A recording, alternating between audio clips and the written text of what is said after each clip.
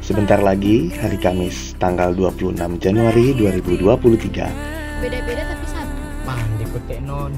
Film Uti Dengkeke akan tayang di bioskop CGV. CGV kali. Yah, apa sajalah, terserah kalian mau sebut apa. Tapi yang paling penting adalah film yang mengangkat budaya Manado dan Gorontalo ini harus dibikin rame dulu. Coba papa baca supaya ada pertolongan Tuhan for. Nah, terus kenapa sih kok kita harus nonton film Uti Dengkeke? Yang pertama, tentu saja karena ini film daerah coy. Perlu kalian tahu, kalau bikin film daerah kayak gini tuh banyak banget tantangannya. Susahnya tuh udah kayak cari pasangan yang setia. Susah banget ya kan? Jadi kita harus kasih apresiasi film ini supaya apa? Ya supaya makin banyak yang produksi film daerah kayak gini dan lebih peduli dengan budaya lokal. Uti dan Keke, sukses selalu. Terus yang kedua, film ini tuh bukan cuma syarat akan makna doang, tapi juga menghibur banget loh.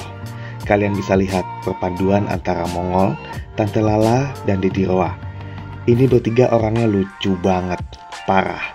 Digabung jadi satu, wah makin parah sih. Nggak kebayangkan gimana seru dan kocaknya mereka. Untuk artis seniornya yang ikutan juga bukan kaleng-kaleng loh. Di sini tuh ada Om Roy Martin, Gary Iskak, dan Teguh Julianto. Ketiganya memberikan dukungan penuh untuk film Uti Dengkeke. Mungkin kita akan bahas sedikit ya tentang plot filmnya. Jadi ini film bercerita tentang persahabatan empat orang anak yang punya latar belakang berbeda. Tapi mereka tetap bisa tumbuh bersama, mengejar cita-cita karena saling menghargai satu sama lainnya. Jadi ini patut dicontoh banget buat kalian nih, terutama generasi muda yang akan menjadi pilar bangsa di masa depan. Nah, ini juga jadi alasan kenapa kalian harus nonton film Uti Dengkeke. Selain menghibur, kalian juga bisa dapat banyak ilmu kehidupan di sini. Oke lah, langsung aja kalian bisa nonton film Uti Dengkeke di bioskop CGV beberapa kota. Buat kalian yang tinggal di Jakarta, bisa nonton di CGV Green Pramuka, Sleepy Jaya, Buaran, dan Sunter.